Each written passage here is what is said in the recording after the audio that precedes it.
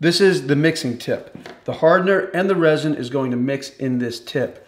The end is already open, but if you want it open a little more, you can take a utility knife, or in this case, I'm using a chisel, and just cut it off. So now it's a little bit more open. You'll need a caulking gun with an offset opening at the front. This really isn't the correct gun, but I was able to make it work.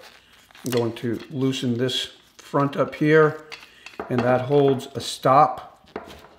And that might be, I used this, so this might be epoxied in there, we'll see. Oh no, I was able to get it out, I think. There we go. I'm giving the caulking gun a little squeeze just to make sure both materials are coming out, and they are. So now I'll attach the mixing tip. Now I'm going to put a three inch bead on this piece of scrap wood just to make sure that both materials are being mixed in the mixing tip. Okay, so now we know how to get started with the Thixo epoxy. Let's talk about why you would use it in the first place. So here is a tabletop that I built a few years ago, and as you can see, it failed. I joined the boards with biscuits and Titebond 2, and yes, I should have used Titebond 3, but I find using epoxy is even stronger. So the idea of the Thixo epoxy as opposed to regular unthickened epoxy is it's easy to use. So if you were to put epoxy on this board, it's going to drip down the sides, it's going to drip on your table. With the thickened epoxy, you can put a nice bead right on the board, and then when you join the boards together, it's not going to drip down and onto your work table.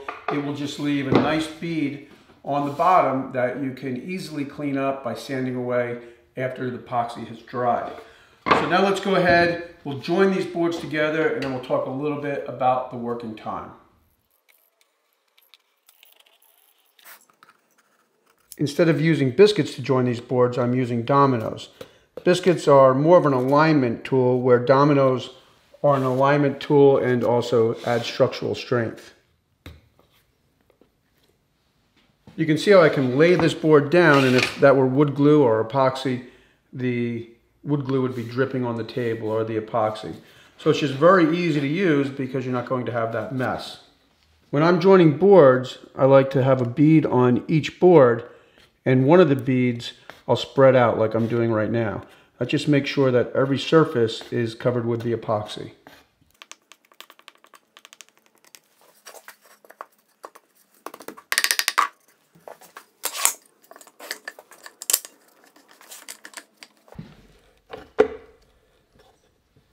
When I'm building a big tabletop, I like to remove the squeeze out at the top with a plastic putty knife.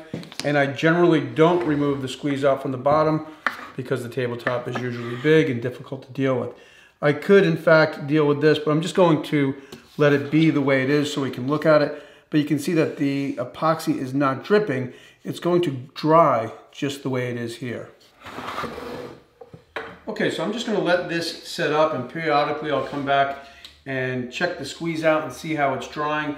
And that way you'll have a good idea of the drying or working time that you have when you work on your project. Okay, I've let the epoxy dry overnight and it's completely cured. After using the epoxy, I removed the mixing tip and put the cap back on. The tip is no longer usable, so you just throw it away. As far as working time, I had been working with the epoxy for maybe 15 minutes while I glued these boards together. I checked out the consistency of it. It was still workable. And then I checked it about an hour and a half later, still workable. I checked it out almost maybe three hours later, still workable, but starting to cure. So plenty of working time. I would safely estimate that you've got at least an hour and a half of working time, which is more than enough time for most glue ups. So now you can see I've got the squeeze out on the back of the uh, tabletop here.